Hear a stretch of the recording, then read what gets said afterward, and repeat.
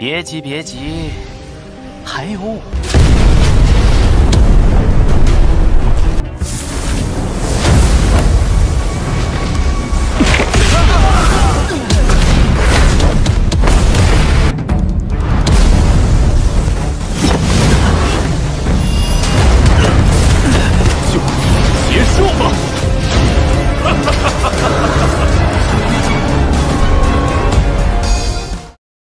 ！Hahaha, UWR semuanya perempuan dan masih menangis. Dan dia tidak takut dengan lelucon orang lain. Yui Yu jelas sangat senang karena penyakit gelap yang baru saja dia sembuhkan selama bertahun-tahun. Dia tahu betul bahwa putrinya yang berharga ini tidak pernah mengkhawatirkan masalah ini selama bertahun-tahun. Yui Yu memeluk putrinya dan membiarkannya menangis sebentar. Lalu berkata, Oke, jangan menangis.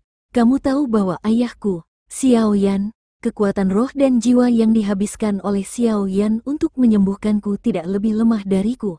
Kamu belum siap untuk membawanya. Apakah dia turun untuk beristirahat? Ah, Yueru tidak menyadarinya sampai Xiao Yan sepertinya masih berada di ruangan ini, jadi dia baru saja melihatnya menangis di depan ayahnya. Ah ah ah, kamu jelek, kamu jelek. Pada saat ini, wajah Yueru memerah dan dia ingin menemukan lubang untuk digali. Ayo pergi, aku akan membawamu ke bawah untuk beristirahat. Ayah, kamu juga istirahat yang baik. Setelah berbicara, dia menatap ayahnya dengan galak dan berkata, menunjukkan bahwa dia juga pulih dari penyakit serius dan perlu istirahat yang baik. Lalu membuka pintu dan membawa Xiao Yan keluar. Yueru sendiri telah mencapai usia untuk berbicara tentang pernikahan. Sebelumnya, karena cedera ayahnya, dia telah mencari seseorang yang bisa menyelamatkan ayahnya. Pria muda di depannya tidak hanya menyelamatkan ayahnya, tetapi dia juga seorang apoteker tingkat pertama dan seorang kaisar petarung bintang tiga. Pemuda seperti itu tidak hanya membuat De Yueru merasa seperti rusa, tetapi juga rekan-rekannya. Sangat sedikit orang yang membuat Yueru tergoda. Ini di sini, kamu dapat beristirahat di sini dengan baik. Aku akan meneleponmu ketika waktunya makan malam. Aku akan pergi dulu dan tidak mengganggu istirahatmu. Yueru membawa Xiao Yan ke ruangan yang luas dan berkata. Xiao Yan memandang Yueru Guliang yang perlahan menarik diri, dan juga merangkak ke tempat tidur dan tertidur. Bebannya terlalu besar beberapa hari ini. Tubuh dan bahkan kekuatan jiwa perlu istirahat yang baik. Sinar matahari pagi pertama menyinari ruangan. Xiao Yan bangun dan meregangkan tubuh. Dia beristirahat dengan baik tadi malam, dan dia seharusnya bisa mundur hari ini. Segera, dia berjalan keluar dari pintu dan menuju aula. Patriark, tolong maafkan aku, aku benar-benar tidak melakukan hal-hal ini. Mereka semua diperintahkan oleh tetua ketiga. Ini benar-benar tidak adil. Seorang pria pendek berlutut di depan aula dan memohon belas kasihan Yuyu. Penatua ketiga, apalagi yang harus kamu katakan? Saya mengaku bersalah. Orang tua yang dikenal sebagai tetua ketiga melihat bahwa buktinya kuat, tetapi dia tidak membantah karena dia juga tahu taktik gemuruh dari patriark di depannya. Dalam beberapa tahun terakhir, penyakit saya kambuh, dan kekuatan saya tidak sebaik sebelumnya. Berapa banyak hal baik yang telah Anda lakukan di belakang saya, saya tidak akan tahu di masa depan. Sekarang saya telah menyingkirkan penyakit gelap. Saatnya untuk merapikan keluarga ini. Setelah tubuh Yue Yu selesai, aura kuat dari puncak bintang lima Dou diterpancar seketika, dan semua orang di keluarga Hall tidak bisa membantu tetapi merasakan paksaan sedikit pun. Kemari, kalahkan mereka dan tangani mereka sesuai dengan aturan klan Yue Yu juga menginstruksikan. Itu benar-benar layak, kamu tidak bisa hidup karena dosamu sendiri, beberapa orang di aula parlemen terus setuju dengan pendekatan patriark. Menjaga hama keluarga seperti ini hanya akan mendiskreditkan keluarga. Teman kecil Xiao Yan sudah bangun, wajah Yue Yu yang awalnya marah tiba-tiba menjadi penuh kasih ketika dia melihat Xiao Yan, dan tersenyum pada Xiao Yan, karena dia juga tahu bahwa putrinya sepertinya sedikit tidak nyaman dengan pria di depannya. Dengan emosi yang sama, sebagai seorang ayah, dia secara alami ingin membantunya. Patriark benar-benar sopan. Setelah kemarin, saya memiliki beberapa tanda terobosan yang samar. Jadi saya datang ke sini kali ini untuk mengambil keuntungan dari ruang pelatihan di klan untuk mundur. Xiao Yan juga mengepalkan tinjunya ke arah Yue Yu. Apakah kamu akan membuat terobosan? Ini masalah. Tentu saja tidak ada masalah. Yue Yu jelas dalam suasana hati yang baik karena lukanya hampir sembuh, dan dia dalam suasana hati yang baik setelah membersihkan keluarga, dan tertawa keras. Menerobos adalah sesuatu yang tidak bisa dipenuhi. Jika itu masalahnya, belum terlambat, pergi sekarang, kata Xiao Yan. Yuer, mengapa kamu masih berdiri di sana? Bawa teman kecil Xiao Yan untuk mundur. Yue Yu berkata kepada putrinya yang linglung, putrinya benar-benar nyata. Karena lukanya telah sembuh, Xiao Yan tidak hanya melihat ke arahnya, enam dewa dan tidak ada tuan selain itu, mata akan terbang keluar.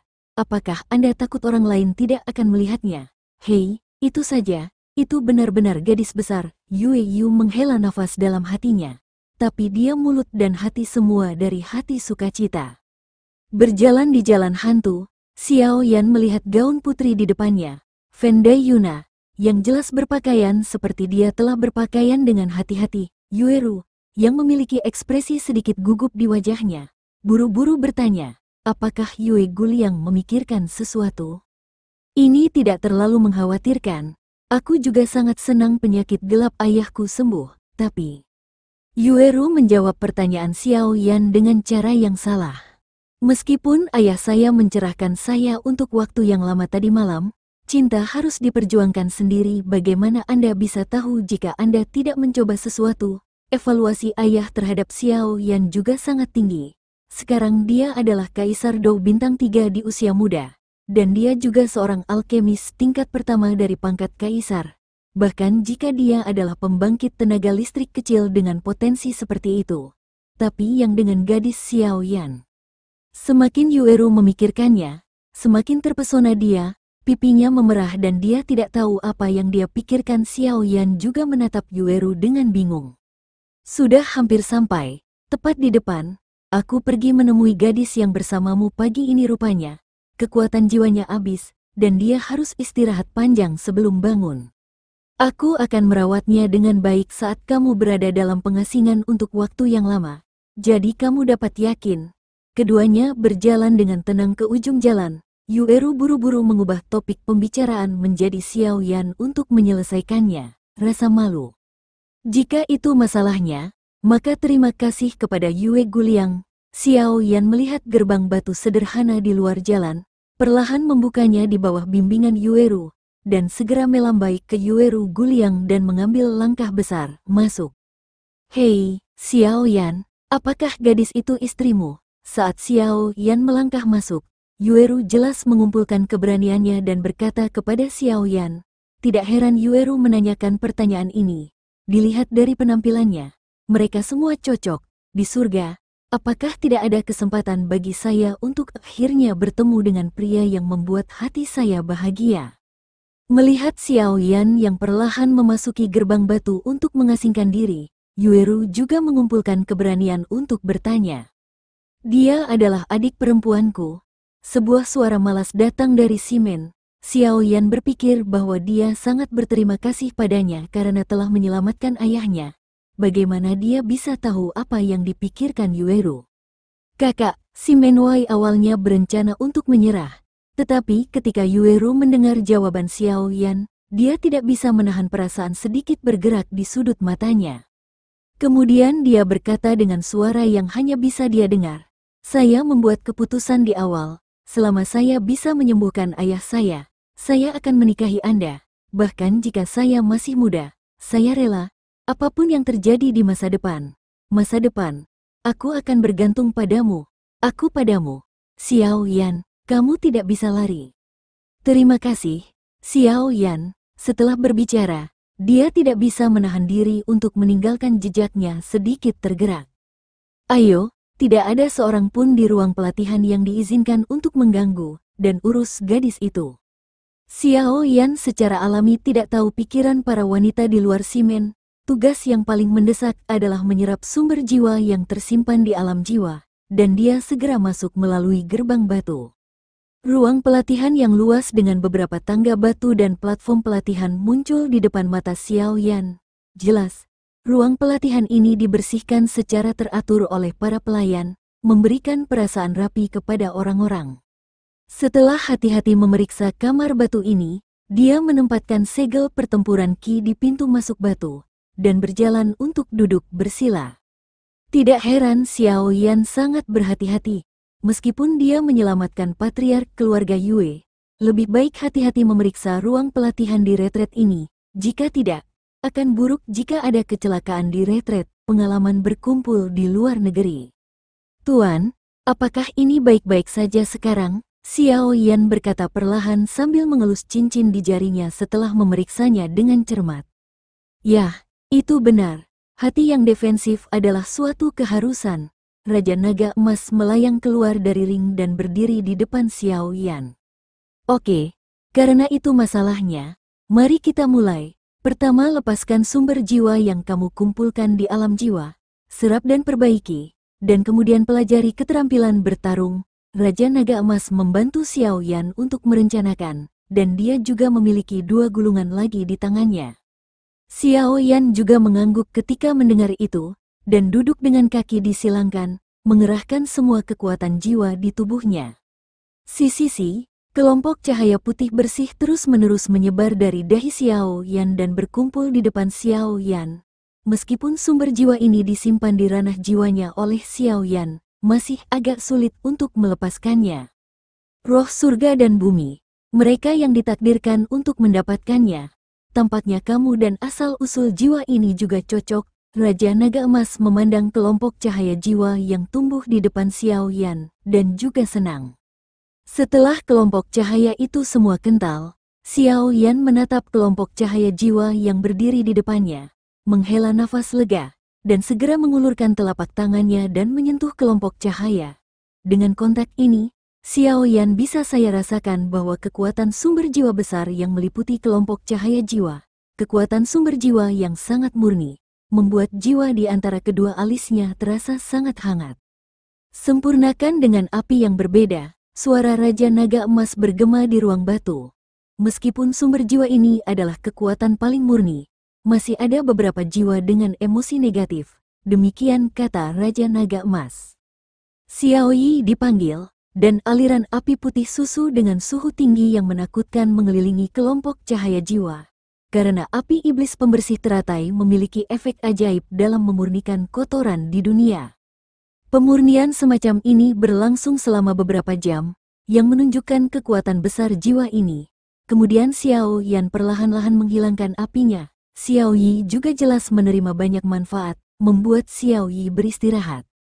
Semuanya sudah siap, melihat kelompok cahaya jiwa seperti kristal yang mengambang di depannya. Meskipun sepuluh kali lebih kecil dari sebelumnya, kekuatan paling murni yang terkandung di dalamnya hanya kuat atau lemah, dan ini perlahan mengendur. Dengan satu napas, sidik jari yang terampil bergerak, dan kekuatan jiwa di antara alis Xiao Yan melonjak, berubah menjadi sosok humanoid dengan penampilan yang sama dengan Xiao Yan. Pada saat yang sama, kekuatan isap mengalir ke arah kelompok cahaya jiwa yang melayang di udara di depan. Dari saya, dengan munculnya hisapan ini, kelompok cahaya jiwa juga sedikit bergetar, dan kemudian kekuatan sumber jiwa yang beberapa kali lebih murni dari sebelumnya menyebar darinya, dan akhirnya melilit jiwa Xiao Yan di sepanjang mulut, hidung, dan pori-pori di sekujur tubuhnya terus menyatu. Karena semakin banyak sumber jiwa yang dihirup, permukaan jiwa Xiao Yan, lapisan seperti kristal aneh yang telah muncul di permukaan, terus tumbuh lebih besar dan lebih kuat. Perubahan semacam ini berlangsung selama 20 hari dalam sekejap mata. Bum bum bum, sinar terakhir dari cahaya jiwa yang tertanam di udara juga masuk ke mulut Xiao Yan pada saat ini. Di ruang batu yang tenang, melihat sekeliling, ada dua Xiao Yan. Aura dan penampilan yang terpancar dari tubuh itu bisa mengetahui siapa sebenarnya Xiao Yan, karena aura mereka semua adalah bintang tiga Doudi, tampilannya sama persis, tidak bisa menemukan perbedaan sedikit pun. Sukses, 20 hari berlalu dalam sekejap mata, dan ketika Xiao Yan membuka matanya dan melihat bahwa orang di depannya persis sama dengannya, dan bahkan kekuatan dan auranya sama, dia tidak bisa tidak membantu tetapi berseru dengan gembira. Jiwa alam kaisar dibagi menjadi empat tingkat, tingkat fana tingkat pemula, tingkat peri persepsi, tingkat suci transendensi, dan tingkat kesempurnaan. Kekuatan jiwa Anda sebelumnya seharusnya tetap berada di jiwa yang baru saja Anda masuki ke alam kaisar. Setelah penyerapan sumber jiwa kali ini, Anda telah mencapai tingkat fana alam kaisar kata Raja Naga Emas perlahan dengan kepuasan yang nyata. Jangan meremehkan kekuatan jiwa fana Anda dari ranah kaisar. Dari sudut pandang kekuatan jiwa saja, bahkan seorang kaisar petarung bintang lima hampir sama dengan Anda. Melangkah ke alam kaisar, kekuatan jiwa tingkat fana telah mengalami perubahan yang mengguncang bumi. Raja Naga Emas memandang Xiao Yan yang sangat gembira di depannya. Seperti yang kamu tahu, Ketika kamu melangkah ke alam kaisar, kamu dapat menggunakan jiwamu untuk berubah dan membentuk untuk membantumu bertarung. Sebelumnya, karena kamu baru saja melangkah ke alam kaisar, kamu belum stabil. Sekarang kamu berbeda. Kamu sudah memiliki klon yang tidak kalah dengan kekuatanmu sendiri. Avatar ini diringkas oleh kekuatan jiwamu, kekuatannya meningkat dengan peningkatanmu, tetapi kamu ingat bahwa klon ini diringkas oleh kekuatan jiwamu, dan keduanya makmur. Jika klon menderita cedera yang tak tertahankan atau tidak dapat disembuhkan, itu juga akan diumpankan kembali kepadamu. Dan itu adalah banyak umpan balik geometris, Raja Naga Emas berkata kepada Xiao Yan dengan serius. Sebelum tuannya mengatakannya, Xiao Yan kurang lebih menebaknya. Mendengar apa yang dikatakan tuannya, Xiao Yan juga memiliki rencana di hatinya. Serangan kekuatan jiwa dan avatar ini harus dianggap sebagai pembunuh Oh, Anda melihat lebih dekat pada napas yang sudah Anda miliki. Raja Naga Emas menatap Xiao Yan dengan heran. Eh, Xiao Yan juga bingung. Awalnya, Xiao Yan harus dianggap sebagai tahap awal Kaisar Dou Bintang 3. Tetapi tiba-tiba, ia menyerap beberapa kekuatan jiwa paling murni dan secara tidak sengaja meningkatkan kekuatannya untuk mencapai puncak Kaisar Dou Bintang 3 awal. Hanya satu langkah lagi untuk memasuki panggung tengah Samsung Doudi. Anda harus tahu bahwa setiap promosi pembangkit tenaga listrik Doudi membutuhkan energi yang sangat besar, dan sumber jiwa paling murni ini dapat memungkinkan Xiao Yan untuk mencapai puncak tahap awal Dou di Bintang 3. Itu bukan hal yang buruk untuk dipikirkan. Hari-hari ini, kamu terus-menerus meningkatkan peringkat untuk menghadapi musuh, yang bukan beban kecil untukmu, tetapi ada juga banyak keuntungan untuk bertarung. Sekarang masuk akal untuk serap kekuatan jiwa ini untuk meningkatkan kekuatanmu, kata Raja Jinlong. Apakah Dou di tengah semester hampir bintang tiga? Xiao Yan juga dengan hati-hati merasakan Dou Qi di tubuh bagian bawahnya, Memang demikian, dan jalannya masih harus diambil selangkah demi selangkah. Hehe, Tuan, sekarang saya telah menyerap kekuatan jiwa saya. Keterampilan bertarung yang Anda sebutkan juga harus diajarkan kepada saya. Xiao Yan tersenyum dan menatap dua gulungan di tangan Raja Naga Emas. Karena dia sendiri, juga jelas bahwa ketika Anda datang ke benua Doudi ini di mana kekuatannya seperti awan, keterampilan Dou peringkat surgawi sudah kewalahan dan setidaknya beberapa keterampilan yang menyelamatkan jiwa diperlukan. Meskipun Fenjue Anda sekarang adalah teknik budidaya tingkat tinggi, pasokan dan penyerapan Ki tidak lemah. Adapun ranah lapisan ke-6 Fenjue, Anda perlu menelan api suci untuk berevolusi. Apa yang Anda kurang sekarang adalah keterampilan Do. Raja Naga Emas juga melihat pikiran Xiao Yan dan mengguncang dua gulungan di tangannya. Karena kamu ingin belajar, maka aku akan menyerahkannya padamu. Xiao Yan memandang Raja Naga Emas yang melayang di langit dan masih memiliki gulungan, dan buru-buru mengulurkan tangan untuk menangkapnya. Keterampilan bertarung abadi tingkat rendah.